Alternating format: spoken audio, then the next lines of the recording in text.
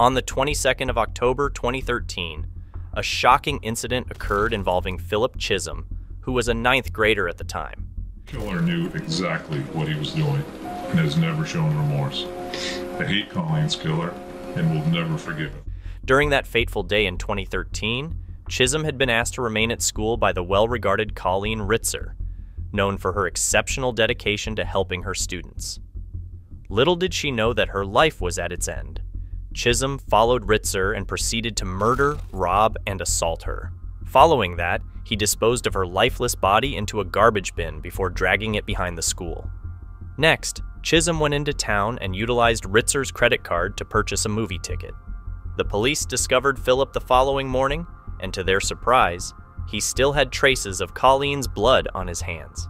All of his efforts to conceal the act, including disposing of evidence and wearing a mask, had been in vain, and he hadn't even bothered to wash his hands. This animal behind bars the maximum possible sentence. Do not give this coward the opportunity to shatter another family's lives. All of the charges related to Colleen Ritzer were included in the indictment against Philip Chism. He was tried as an adult, and in February 2016, he received a sentence that required a minimum of 40 years in prison. Court will impose the mandatory life sentence for the murder of Colleen Ritzer and set a parole eligibility date of 25 years, the highest level our law allows. Disturbingly, this teenage murderer displayed a disturbing lack of remorse for his horrific crimes. Introducing Jamel Demons, widely recognized as YNW Melly, who currently faces charges in connection with a double homicide that transpired in 2018. His trial began on June 12th, drawing considerable attention from his fans and the public. NW Melly case. He's the South Florida rapper on trial right now uh, for the murders of his two friends, Chris Williams Jr. and or Chris Thomas Jr. I should say, and Anthony Williams. Uh, back in October of 2018, they went by YNW Juvie and YNW Sack Chaser. In October 2018, it is alleged that Melly fatally shot two of his friends and fellow rappers, Anthony Williams, known as YNW Sack Chaser, and Christopher Thomas Jr., known as YNW Juvie. In an attempt to make it appear as though a drive by shooting had occurred, Melly manipulated the crime scene. This case garnered significant pre trial attention, with Complex providing an in depth analysis of court documents and a podcast. The bodies of the two men were discovered, both having been shot and killed. Melly's co defendant, Cortlen Henry, also known as YNW Bortlen, transported the bodies to the hospital in his car, emphasizing that they were victims of a drive by shooting. However, evidence suggests that this was not a legitimate drive by shooting, but rather a staged one, where the shots were fired from inside the vehicle. Prosecutors allege that Melly was the one responsible for firing the shots and exited the car before Henry arrived at the hospital. What are we seeing on the screen right now? So this is the sidewalk portion I was telling you about. Immediately on the bottom left corner of the screen with these those white dashes, that's where the cars drive through. Those dashes are for them to see pedestrians just walking across into the yard. Um, then there's a sidewalk portion, and these are the two doors of the ER. The left door on the left side of the video is the ER the adult entrance, and the right is the pediatric entrance, but it's one big area. And then um, in the middle is the park bench. Right behind that glass is security desk. I'm sitting in the, in the middle of both of those doors. And that subject that we see in the video That's the gentleman that the person made. continuing to publish?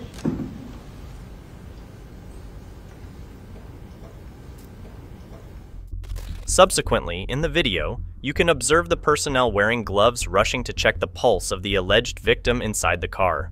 Within a few minutes, the video quality degrades due to it being presented in court.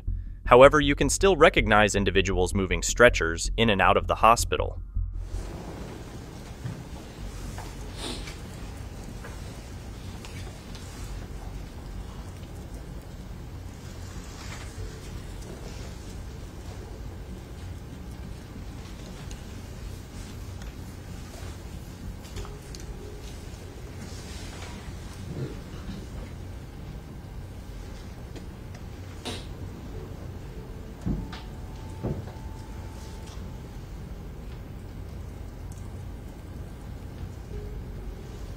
Prosecution placed significant emphasis on the defendant's affiliation with a gang known as the G Shine Bloods. It's essential to bear in mind that the outcome of this case carries significant consequences, as Melly could potentially face the death penalty if found guilty. Previously, a unanimous jury vote was required to impose the death penalty, but the law has since changed in Florida. Now, an 8 to 4 jury vote suffices for the death penalty to be considered. There has been widespread anticipation regarding how YNW Melly will respond to the accusations against him, and it's reasonable to assume that he may be struggling with the pressure.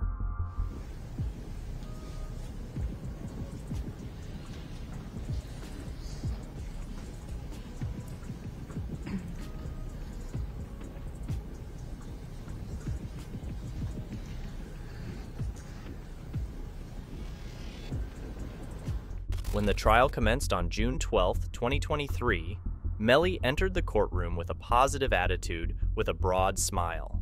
After taking his seat, he covered his face to offer a prayer and then blew a kiss into the air. Really? Really? As the trial progressed, prosecutor Bradley presented his arguments, but Melly appeared disinterested. He fidgeted with his pen and scanned the courtroom, seemingly observing the people present. Some individuals interpret this behavior as a sign of guilt, but it can also be perceived as anxiety. It's important to note that the rapper has attention deficit hyperactivity disorder, or ADHD for short, making it challenging for him to focus, particularly in a controlled setting like a courtroom. So you are bipolar. ADHD. Damn. So, when you were coming up, did they like put you on Ritalin and shit? Hell yeah, when I got like That's the first time a year straight. So you was on like Addies and shit? a month straight, Adderall, baby. Yo, that's crazy. Cause Adderall is like legit meth. Yeah, for real. That's That's why the I thing. said I ain't doing it no You more. could do Adderall and like you could literally have the most productive week of your life. Despite these challenges, the prosecution pressed on. They opted to call one of Melly's ex girlfriend's mothers as a witness. To everyone's disbelief, she made an unexpected claim that the prosecution had threatened her with imprisonment. As a result, the judge dismissed her as a witness and deemed the jury potentially influenced or biased. Served with a subpoena in Never. February of 2019. You never served me. I know you served at your location. I never. I didn't live at anymore.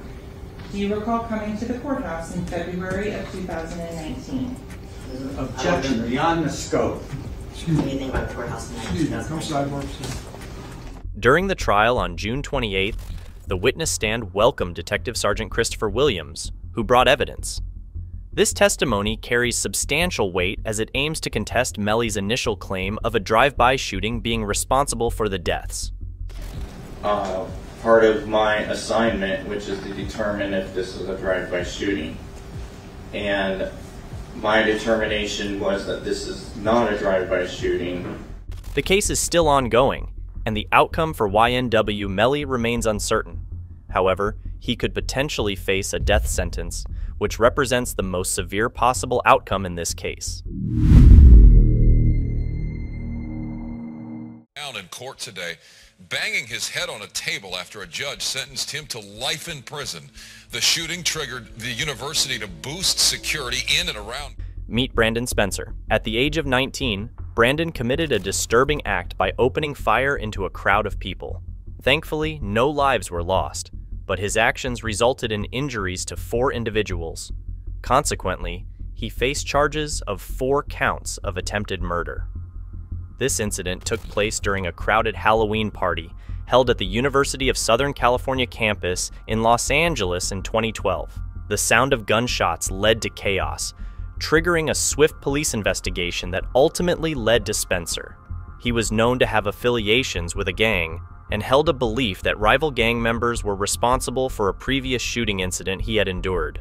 In court, his defense attorneys argued that Spencer fired his weapon as a means of scaring off those rival gang members he believed were pursuing him.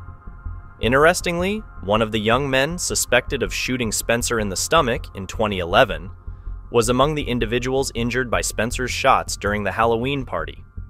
During the trial, several people testified to Spencer's good behavior, including an officer from the Los Angeles Police Department. His defense team emphasized his lack of a prior criminal record.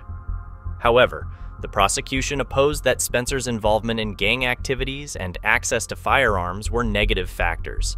They argued that by firing into a crowd, he displayed a willingness to cause harm, potentially leading to someone's death. What happened, Your Honor, but came to life in prison. And I'm not a bad person, but I made mistakes. But I'm not just some gangbanger that she tried to betray. When Brandon Spencer was handed a 40 year prison sentence by Judge Edmund Clark Jr. of the Los Angeles Superior Court, he strongly maintained his innocence. Overcome with emotion, Spencer began to weep and, in a moment of frustration, even hit his head on the table.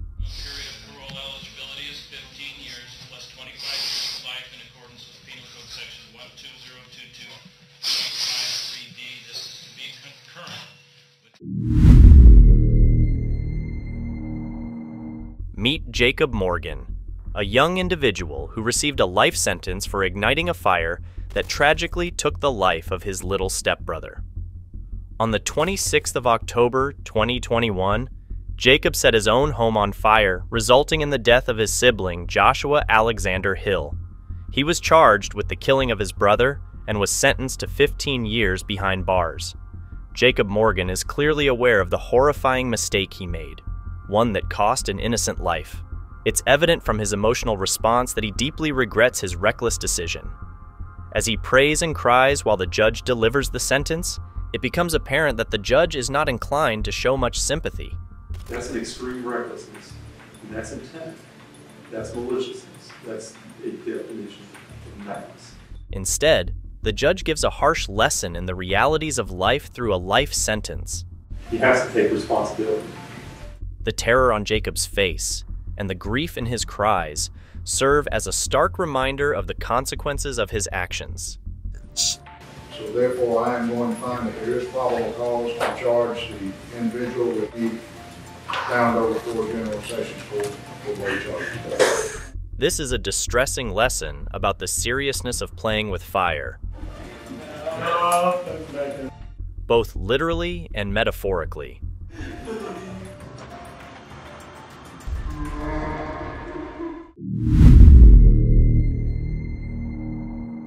I would give my life for Austin. I loved him a lot. Introducing Dylan Shoemaker, a 17 year old who found himself in a situation that many can relate to, dealing with a constantly crying baby. Caring for infants can be demanding, and the constant crying of a baby can be quite challenging. In Shoemaker's case, he was entrusted with the responsibility of babysitting Austin, his teenage girlfriend's nearly two year old baby, who was just a few days away from his second birthday. The baby's nonstop crying became too much for Shoemaker to handle. At that time, Shoemaker was living in the same house as his girlfriend and her parents. He had been asked to care for the baby while his girlfriend worked her night shift. It's worth noting that neither Austin nor the three month old baby brother, whom Shoemaker claimed he didn't want to disturb with Austin's cries, were his own children. Actually, I really didn't. I really think I did that. I didn't mean During the trial, Shoemaker made a shocking confession, revealing that he gave in to his growing frustration with the baby's relentless crying, leading him to commit acts of extreme physical harm. He openly admitted to spanking, slapping, violently slamming the baby onto the floor, and shockingly, punching the baby multiple times in the head while using a pillow as protection. Tragically, Austin suffered severe head injuries, including bleeding in the brain, which ultimately led to his untimely death. Shoemaker faced serious legal consequences for his actions, with charges of second degree murder and child abuse. Prior to the sentencing, Supreme Court Justice Mem Williams Boller remained unmoved by Shoemaker's tears. will show that you admitted on that on July 23, 2013, in a phone call to your mother from the holding center, you stated, and I got a quote from the court reporter, I am a 16 year old blonde. Probably all I have to do is cry in front of the jury, and they're going to feel sorry for me. End quote. and referenced a significant phone call he had made to his mother, which likely carried weight in the case. Ladies and gentlemen, please take your seats at the Cuyahoga County Courthouse for the prosecution of a 16 year old Cleveland teenager named. Quill Cleveland. This young individual has pleaded guilty to involuntary manslaughter, aggravated robbery, and other charges. In a tragic incident that occurred during a 2015 robbery attempt, Jaquil Cleveland took the life of a New York man who had traveled to Cleveland to visit his girlfriend. As part of the plea deal, prosecutors dropped an aggravated murder charge that would have resulted in a life sentence. And instead, he agreed to a prison sentence ranging from 20 to 25 years. Every time apologize to family, I'm sorry if I did, I know it was wrong. Now I'm here to take my punishment for what I did. I apologize to my mom, I'm sorry. I did, better than that. I'm sorry breaking. Following a series of emotional impact statements from the victim's family, the remorseful 16 year old offered his apologies to both the victim's family and his own mother. Following that, the common pleas judge handed down the sentence of 24 years in prison. Any questions about the possible penalties you're facing in these cases? No, Your Honor. A judge has sentenced the youngest trigger man to two consecutive life terms in prison. Nearly three years after he and his friends unleashed a reign of terror in Osceola County through random shootings that resulted in the tragic deaths of innocent bystanders. Conrad Schaefer, now 18 years old, extended his condolences to the families of the victims. I would just like to apologize to the families that, uh, that I've heard. I know that y'all never forgive me, and I don't expect you to. I know if I was in your position, I'd feel the same way. Prior to the shootings, Schaefer successfully persuaded his father to purchase a .45 caliber Hi-Point carbine, along with a hundred rounds of ammunition. He allegedly waited until his father returned to bed, sneaking the gun out of the house, and that marked the beginning of the neighborhood horror story. My grandson, he was my helper, me and my wife.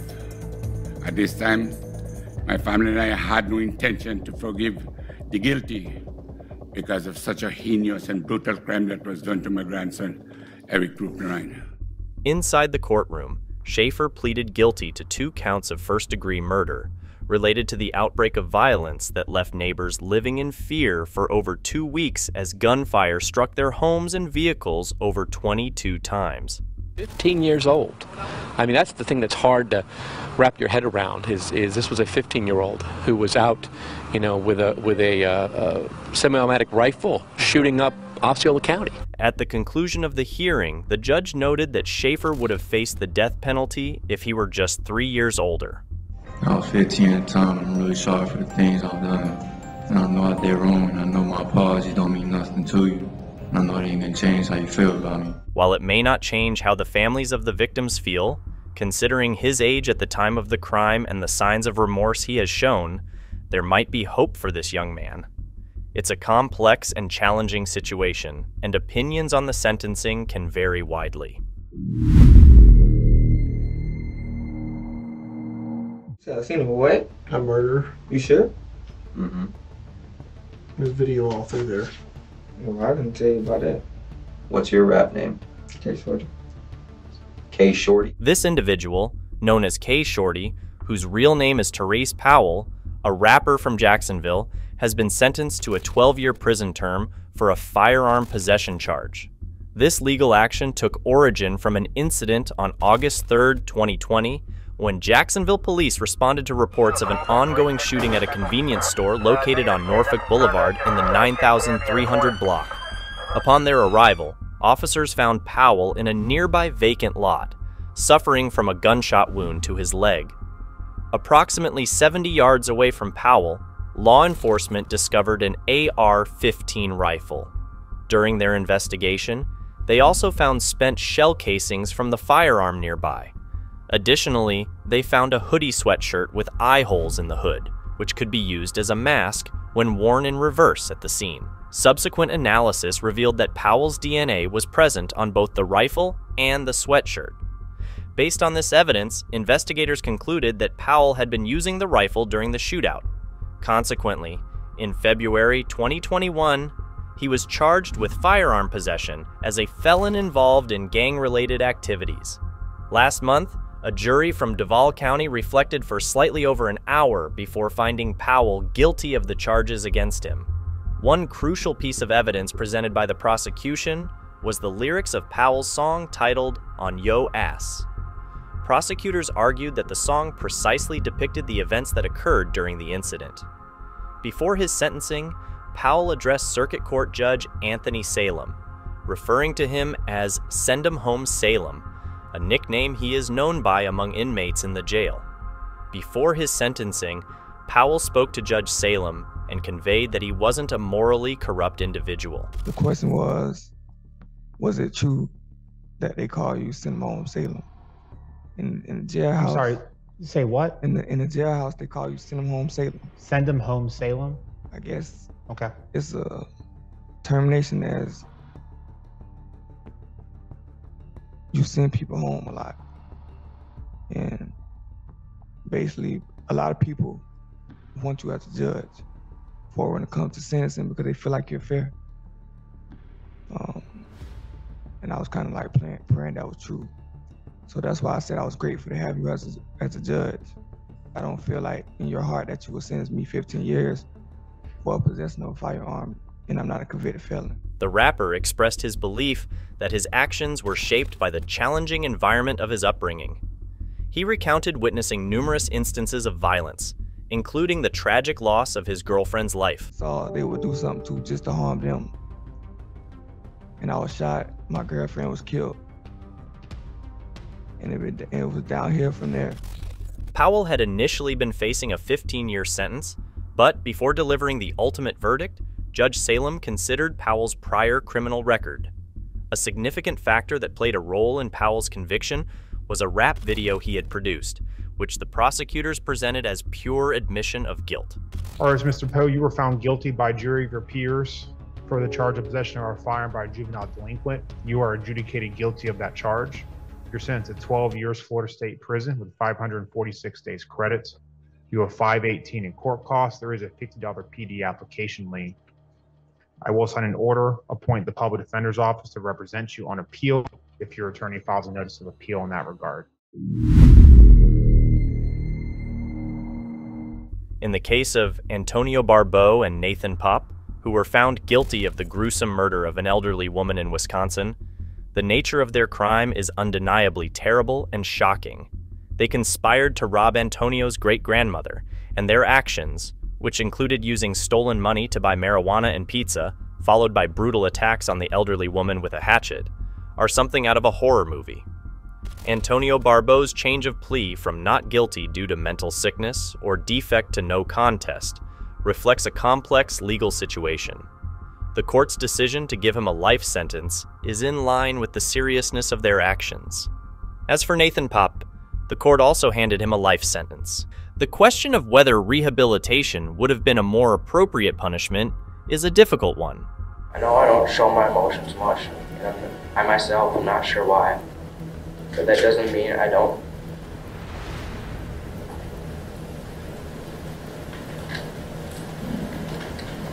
I took away someone's mother, their grandma, sister, friend, when I had no right to do so. While rehabilitation is a vital aspect of the justice system, the severity of the crime and the age of the criminals must be taken into account. Our statutes, the way they're standing right now, 10 year old facing life in prison, I, I, I don't understand that. They aren't adults, they're children. I just want to say that I'm truly sorry for everything that happened. I truly regret every single thing that happened that day. The judge's decision to impose life sentences could be seen as a response to the extreme nature of the crime and a desire to protect society from individuals who committed such a brutal act. Nicholas Lindsey's case is a deeply tragic and disturbing one. On February 21, 2011, in Tampa Bay, he shot and killed police officer David Crawford, who was responding to a call of a suspicious person near Tropicana Field late that night. The encounter between Officer Crawford and Lindsey ended in a deadly exchange of gunfire, with Crawford being shot multiple times at close range while reaching for a notepad. Quarter B, I got shots fired over here. Shots fired. I got an officer shot. 4th Avenue South. Tell him to step it up. Officer Donald Ziegler arrived at the scene and found Crawford near his cruiser, critically wounded. The incident triggered a massive manhunt involving over 200 officers from various agencies across Tampa Bay to apprehend Nicholas Lindsey. Despite being caught, Lindsey initially denied any involvement in Officer Crawford's killing. I did not do it, and I, I'm telling you, I did not do it. Who did it? However, during the interrogation, his parents were brought into the room and they appeared to convince him to come clean. It's gonna be okay, son. It's gonna be okay, son. You got to tell the truth, son. We right here. I was not there. Lindsey initially maintained his innocence, Trying to help you. This is our point. You need to talk to us. but it's clear from the audio that his parents were influencing him. You're doing the right thing right now. You're owning up to your, your responsibility. It's okay, son. This is the price we pay for the things we do. Unfortunately, Lindsey's apparent remorse was short lived. When he learned that he was sentenced to life in prison, a sadistic grin appeared on his face, even though he knew he would spend the rest of his life behind bars. This reaction is disturbing and heart wrenching, considering the tragic loss of Officer Crawford. In Grand Rapids, Michigan, a juvenile court dealt with the case of 13 year old Keyshawn Mann, who was charged with second degree murder for killing his mother's boyfriend, Jermel Stokes. Keyshawn claimed that Stokes, who was 35 years old, had physically abused both him and his mother. One day, the young boy approached Stokes, held a gun inches from the man's head, and pulled the trigger. Tensions escalated in the courtroom as a fight broke out between the family of the 13 year old murderer and the family of Jermel Stokes. The argument ignited when Lakeisha Mann, the boy's mother, expressed in court that no one could truly understand the alleged abuse her son had suffered at the hands of her boyfriend. The judge sentenced the teenager to serve the next eight years in a juvenile facility, which will take him until he's 21 years old. Following that period, he may face another sentence that could transfer him to an adult prison for a minimum of 162 months, with the potential for a sentence of life. She's not my granddaughter. Where did the evil come that was bred into a soul that murders their own father? I don't know. Welcome back to our YouTube channel. After murdering day three after murdering somebody. Whoa! The case of Sierra Halseth and Aaron Guerrero is indeed a tragic and unsettling one. Both teenagers confessed to the murder of Sierra's father, Daniel Halseth, and he was found dead in the garage of his home in Las Vegas. The young offenders were taken into custody four days later in Salt Lake City. District Judge Chiara Jones sentenced both Sierra and Guerrero to the maximum penalty of life in prison with the chance of parole after 22 years. You have 55 555 days credit for time served. That is a total aggregate sentence of life in the Nevada Department of Corrections with the possibility of parole after 22 years of good service. Additionally, the court ordered them to pay compensation in the amount of $5,000. While Aaron Guerrero appears to be experiencing emotional distress, it's important to remember that people react differently in stressful and traumatic situations. On count one, you're going to be sentenced to 48 to 120 months in the Nevada Department of Corrections. On count two, you're going to be sentenced to life in the Nevada Department of Corrections with the possibility of parole after 20 years has been served, plus a consecutive 24 to 60 months in the Nevada Department of Corrections for a deadly weapon enhancement. Sierra's attitude of boredom or tiredness could be influenced by various factors. for forgiveness and I get as I get sentenced today, and I hope it brings you a little peace. including shock, emotional numbness, or her own coping mechanisms. It's difficult to make assumptions about her emotional state without more information. degree murder charges. It is a mandatory life sentence if she's convicted. Live in death list, and the victim's sister was actually the first person on that list, but we now know that This case is the single most cold, calculated, premeditated.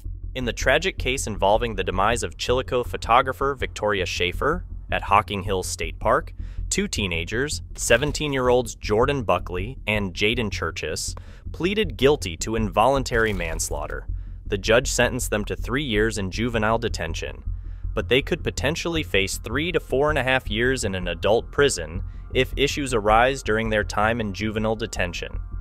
the Common Pleas Court judge imposed a stay on the adult sentence, pending the success of their rehabilitation in juvenile detention as part of a plea deal. During the hearing, both Buckley and Churchheus delivered statements and offered apologies to Victoria Schafer's family. Buckley expressed remorse for not coming forward sooner and called himself a coward, showing appreciation for a second chance. Churchheus told the family that he had learned from his actions and would use the opportunity to become a better person. The crime took place on Labor Day in 2019.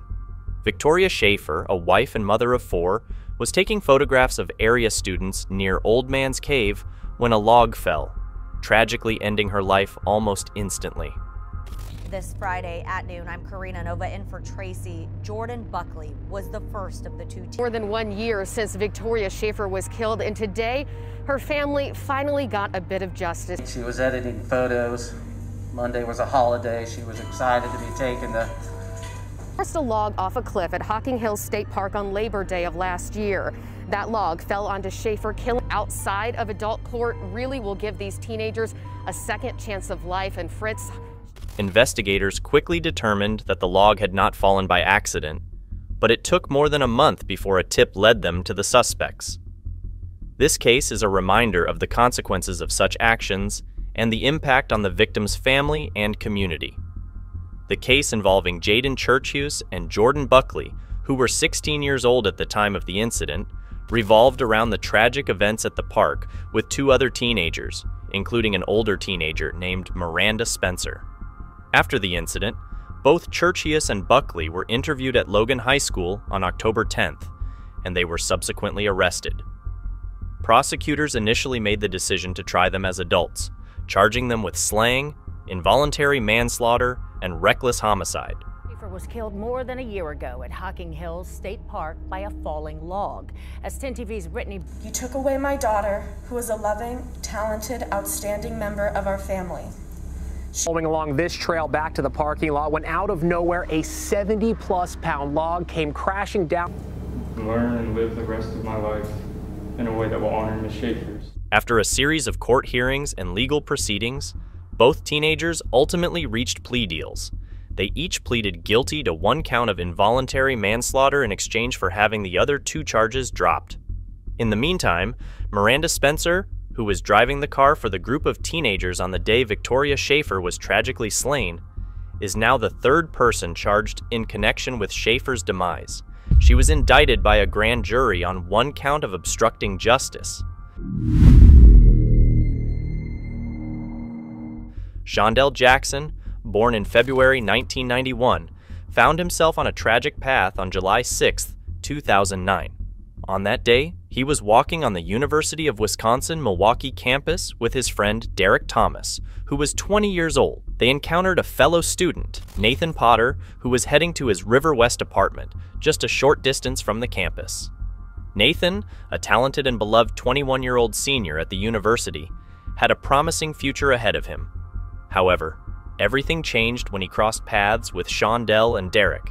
Shondell and Derek had planned to rob Nathan, and they confronted him with a gun, demanding that he give them his money. Despite Nathan's insistence that he had nothing to give, Shondell shot and killed him. Both men would ultimately face the consequences of their heartless acts. Shondell was detained, and his case went to trial. Throughout the legal proceedings, Shondell displayed a complete lack of remorse for his actions and showed no sympathy toward Nathan's devastated family. Witnesses even reported seeing him smirk and make disrespectful gestures towards them, even smiling at times. During the trial, Nathan's mother, Denise, bravely addressed the judge, acknowledging the true evilness of her son's killer. Shondell is in court, looking at us, swearing at us, and smiling. The courtroom scene during Shondell Jackson's sentencing was emotionally charged. Nathan's father, James Potter, delivered a victim impact statement sharing the pain and anguish his family had experienced. That can be said to bring back our Nathan. But, but your sentence can ensure that Shondell does not have the opportunity as a free man to inflict pain like this again. Is there such thing as pure evil? We think so. Shondell, who had been convicted of first degree murder and robbery charges, received his sentence at the age of 19. The judge presiding over the case voiced concerns that Shondell could pose a significant danger to the public if ever released and might commit another deadly act. Caring of human life and the need to protect the community, which I also fear for with Mr. Jackson um, being out in the community.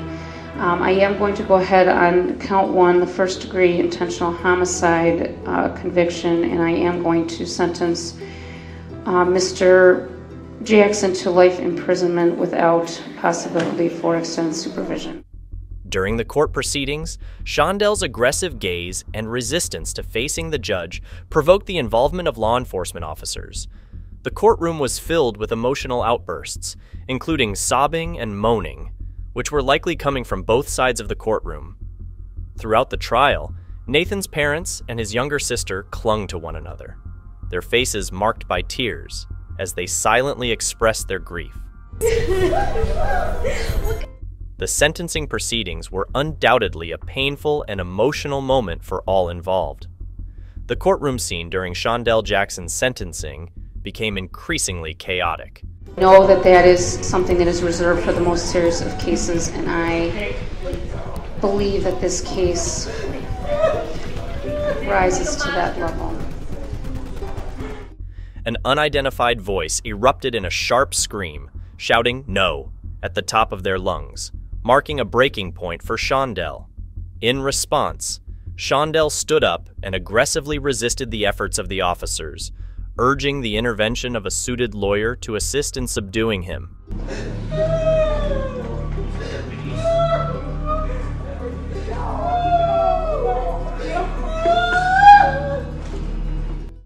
A physical struggle arose, causing the wooden table in front of Shondell to be pushed away. Additional officers and the reported use of pepper spray were required to eventually bring Shondell down to the ground. Amid this chaos, the cries continued, including loud words of encouragement and support from Shondell's own family. After some time, the officer successfully regained control over Shondell, helping him to his feet, handcuffing him, and escorting him out of the courtroom despite his continued resistance. At one point, an officer had to grasp the back of his head to maintain control. In the background, the sorrowful cries of a woman, likely Shondell's mother, could be heard, indicating her grief. Inside the courtroom, it appeared that Shondell's mother believed the responsibility for her son's sentencing lay with Nathan's family.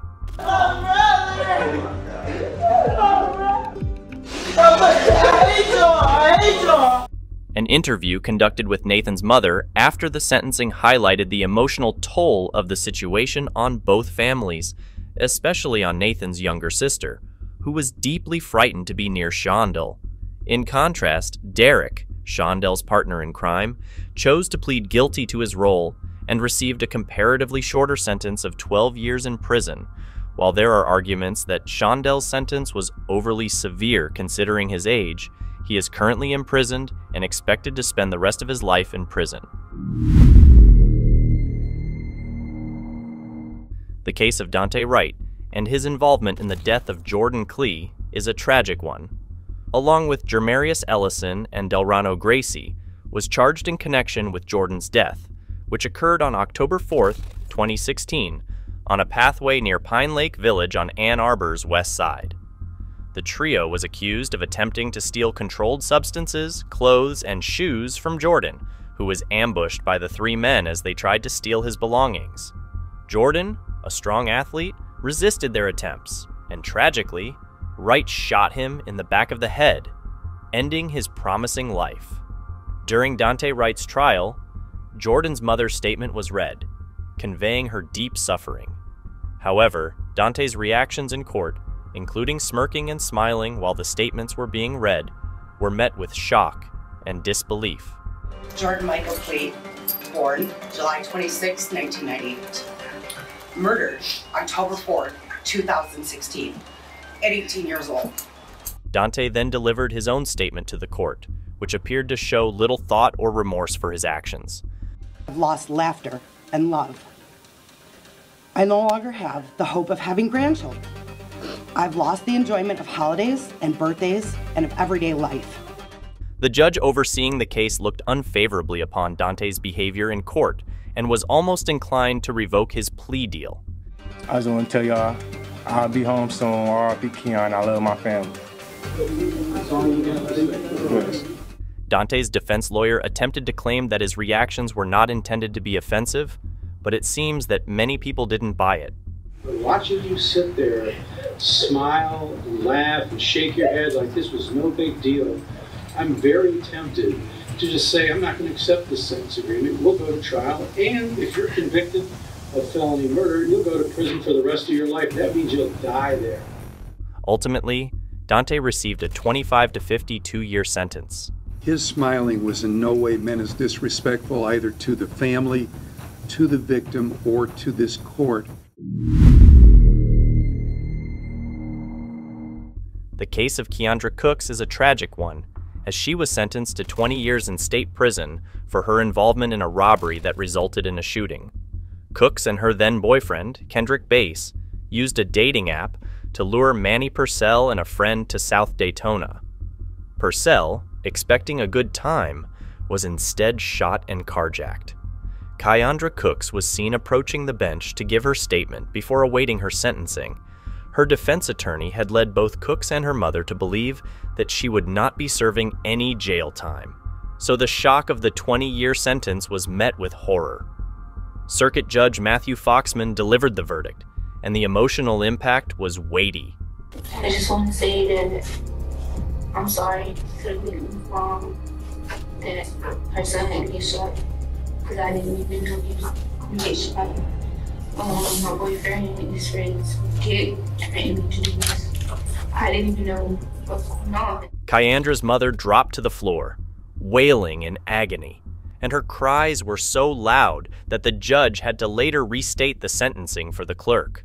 Second chance so I can get out and finish school and I can put my mama proud because I want to her first child to bring home a high school diploma. It was at this moment that Kyandra realized the gravity of her situation and broke down herself. She guilty of all three charges, sentenced to 20 years in state prison. The case of David Moses and his involvement in the brutal attack on 81 year old Dorothy Session is a disturbing one.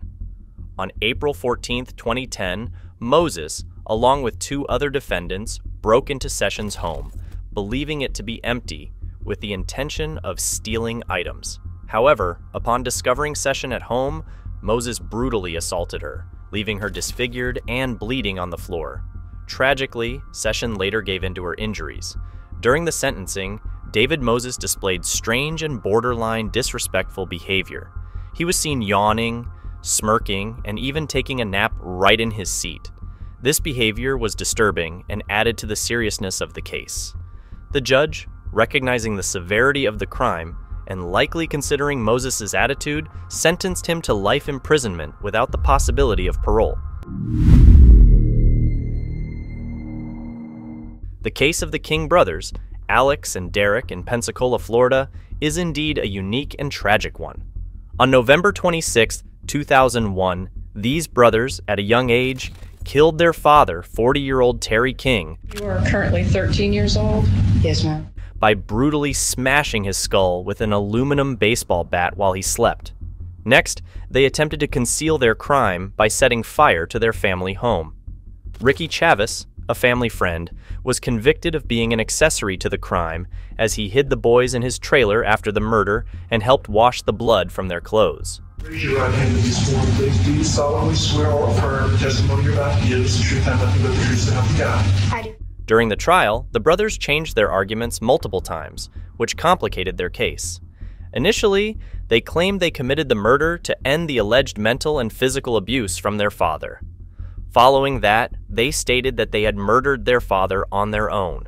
Later, they claimed that Ricky Chavis had convinced them to kill him. And finally, they alleged that Ricky Chavis had killed their father and manipulated them to take the blame.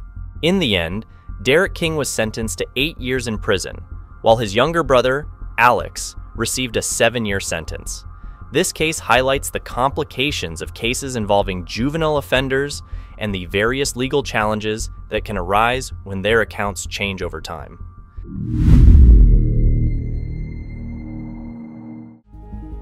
Matthew Borges on indictment number 2017-115. The jury having returned a verdict of guilty on the charge of murder in the first degree.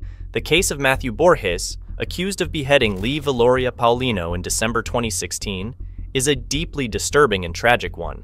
Both Borges and Paulino were students at Lawrence High School, and it's alleged that Borges murdered Paulino while they were both studying there. Borges initially informed the police that he and Paulino had smoked marijuana together in November 2016, which was the last time Paulino was seen alive. Paulino's body was discovered two weeks later by a dog walker on the banks of Merrimack River, and the details of the crime were horrifying. Um, as I approached, I got closer, saw her really sniffing at a particular area.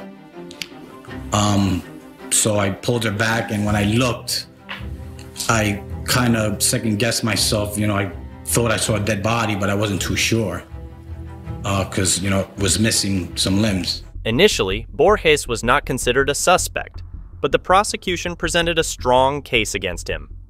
According to investigators, Borges allegedly stabbed the 16 year old victim multiple times and beheaded him to prevent the corpse from being identified. During the sentencing, Borges displayed no emotion or signs of remorse.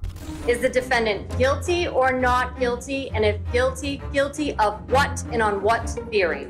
Uh, we find the defendant guilty.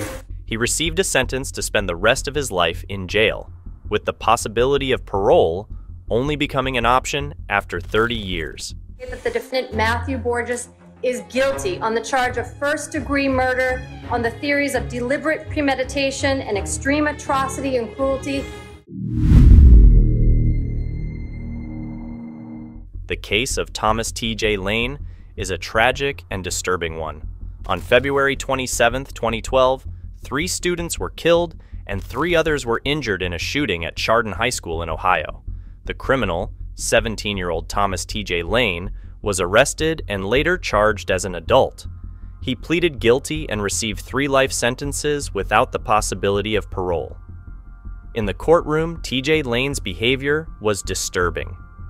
He unbuttoned his shirt to reveal a t shirt with the word killer written on it, and his lack of remorse was evident in his final statement toward the victims' families. The victims' families had the opportunity to address TJ Lane during the sentencing, and his smirking and smiling in response to their statements were deeply disturbing. Same pull the trigger that killed your son, you know, masturbates in memory of you. I hate you for the pain you have caused, Nick. You chased him down the hall and fired the last bullet that paralyzed him. Things I was looking forward to, I will never get to see. My baby brother graduate high school, go to college, graduate college, get married, have children. I will never be an aunt, and my children will never know their uncle. He was a mere baby, my baby. That murderer could have never been a fraction of the man Danny was going to be. He doesn't deserve to breathe the air that I breathe. That child stole my baby's life, and he should never be able to do this to anyone ever again. Perhaps the most shocking aspect of this case is that TJ Lane managed to escape from prison a year after being sentenced, along with another inmate, leading to a manhunt by the police. The police were well aware of Thomas TJ Lane's behavior and the potential danger he posed. After his escape from prison, law enforcement agencies were quick in their efforts to locate and capture him. TJ Lane's arrest was essential to ensure the safety of the community. The case of Martise Fuller, involving the murder of Kaylee Juga and the attempted murder of her mother, Stephanie Juga, is indeed a tragic and disturbing one. Fuller's actions resulted in the loss of a young life and had an intense impact on the Juga family. His insistence on maintaining his innocence and attempting to shift blame onto the media is an interesting aspect of the case. It's proof of the difficulty in some cases of holding individuals accountable for their actions and bringing closure to the victims' families. The life sentence without the possibility of parole explains the severity of the crime and the legal consequences Fuller now faces.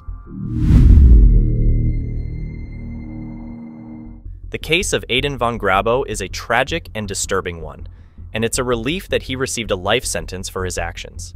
The fact that he will be eligible to apply for parole after 40 years proves the seriousness of his crimes and the legal consequences he now faces. The impact of his actions on Michaela Grote and her family is immeasurable. It's also noteworthy that von Grabo was targeting other individuals on a death list, and his actions went beyond the initial crime. The legal proceedings, in this case, have brought some closure for the victims' families, and the hope expressed by Jeanette Grote is understandable. The justice system has responded with a severe sentence, considering the seriousness of the crimes. It's clear that Aiden von Grabo's case is a difficult one and has left a deep impact on the community and those involved. The judge's decision to allow expanded media coverage is a way to help people better understand the consequences of teenage violence. Such cases remind us of the importance of addressing mental health issues and providing support for young individuals who may be at risk of harming themselves or others. The fact that von Grabo's sudden behavioral changes were attributed to medication describes perfectly the need for a focus on mental health problems. Piece of my forever happiness. From this day forward, I can only hope and pray. And Shannon, very chilling details coming out of the courtroom today surrounding this tragic case. The Boulder daughter the way that you did, but I am greatly sorrowful for it. And if I could put Lakewood. It's a shocking crime for so many reasons. The suspect is a 15 year old boy who apparently had a judge today ordered that the suspect is restrained because he's deemed a risk for himself and for the public. Letter from the principal sent to parents of students right now. They say that the alleged killer was recently slash whomever is home. It's also understandable that the judge, while imposing a life sentence, considered the potential for rehabilitation. The hope is that von Grabo, given his young age at the time of the crimes, can take advantage of rehabilitation opportunities and eventually make amends. Big thanks to our viewers for joining the courtroom journey with us. Your interest in the stories of justice is what keeps our channel alive.